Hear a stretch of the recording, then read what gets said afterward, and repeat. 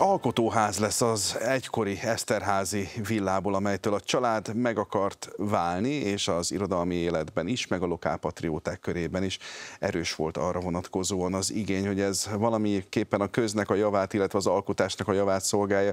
Ez a harmadik kerületi római parti ingatlan Kis László Budabékás megye polgármestere van itt nálunk a, a stúdióban, és lett megegyezés.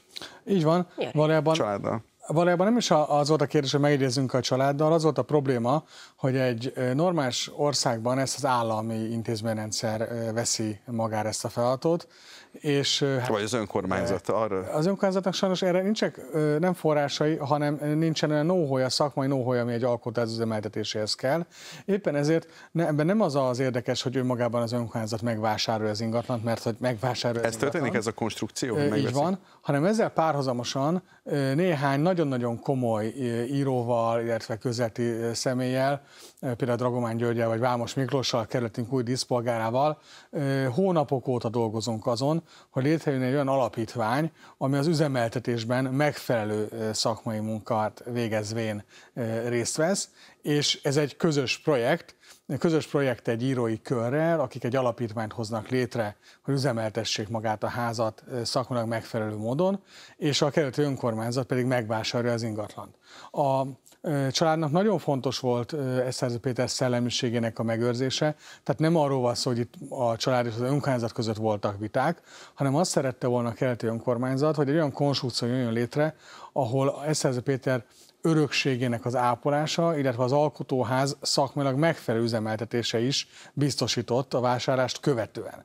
Ezért e, tartottuk tegnap a sajtótájékoztatónkat e, Dragomán Györgyel e, és Eszerházi család képviselőjével abban, hogy, hogy ez nem csak a vétel valósul meg, hanem egy megfelelő, magas, nagyon magas szintű üzenet. Egy picit, hogyha egy lépéssel hátrébről is vizsgáljuk a dolgot, azért ezt a kérdéskört, hogy ezt tovább tudják vinni eszmei szinten is, kockáztatta-e az, a tény, hogy egyébként ezt az ingatlanot meghirdették eladásra, tehát gyakorlatilag bárki megvehette volna, ha minden igaz, mert fönt volt egy olyan platformon, ahol ezt értékesíteni hát, szerették ugye volna. a családtól azért azt a jogot elvitatni egyébként, hogy ők ö, ö, a saját vagyonukat, ö, vagyonukkal rendelkezni szeretnének, ö, azt nem lehet, ö, és nyilván miközben folytak a beszélgetések a család és az önkormányzat, illetve a család és a, a, ez a kreatív kör között, ekközben a családnak nyilván voltak saját szempontjai is.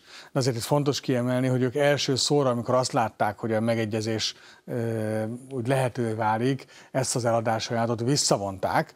Tehát itt az alapítvány most bejegyzés alatt áll, az önkormányzat kvázi szándékot nyilvánított ki, a család pedig egy oldalon visszavonta ezt a, az eladási ajánlatot. Bízik abba mindenki, hogy, hogy tartja a szavát az összes fél, és összejön az alkú. Én úgy gondolom, hogy, hogy mindenki elkötelezett, a család is elkötelezett, ez az alapítvány is, vagy leendő alapítvány is elkötelezett, Dragomány György és Vámos Miklós személy azt gondolom, hogy egy erő, erős garancia, szakmai garancia, és az önkormányzat is elkötelezett, szerintem ez is egy erős garancia. És akkor ezek szerint náluk van már, mint hogy a két képviselőinek az alapítványnak a know-how, amire úgy hivatkozott, hogy ez nem volt meg eddig az önkormányzatnál, akkor ezek szerint ott van az alapítványnál, és akkor ezt már most tudják, hogy milyen tevékenységek, milyen eszmélység mentén szeretnék. Úgy gondoljuk, hogy igen, de ez fontos, hogy ekközben Dragomán György és Vámos Miklós egyébként a háttérben nem csak azt a munkát végezte el, hogy magát az alapítványt bejegyzésre beadta, hanem azt is, hogy mindketten egyébként nagyon komoly nemzetközi túrákat tettek, és magyar túrákat tettek annak érdekében, hogy egyrészt a szponzorációt, a működtetésre biztosítsák, másik oldalról pedig azt a fajta szakmai anyagot elkészítsék, ami arról fog szólni, hogy hogyan működik maga az alapítvány is. Tehát itt nagyon-nagyon komoly munka folyt a háttérben, szakmai munka volt, ami arról fog szólni, hogy ez a, az alkotóház ez hogyan fog működni a közeljövőben a vásárlás után közelebbi megvalósulás gyermeknap a harmadik kerületben. Ez hagyományos, sok kerület csinál ilyet, most önöknél változás van.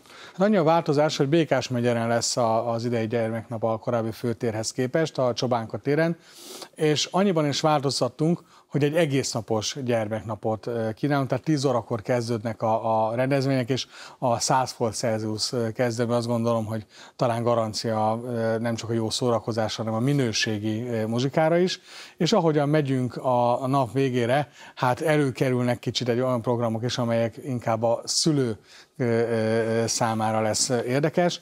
14.30-tól a Kaláka együttes játszik a gyermekeknek, de lesz Sojvász bemutató is, hagyományos gyermekprogramok, és szeretném két esti programra is felhívni a figyelmet. Este 6 órakor a Mystery Gang együttes egy parádés, fergeteges koncertet fog adni, és azt követően pedig egy más óra múlva az Irigy Hónamirigy teljes zenekara fog egy szintén fergeteges sót adni Békás megyeren. Oda már gyerekek nem menjenek.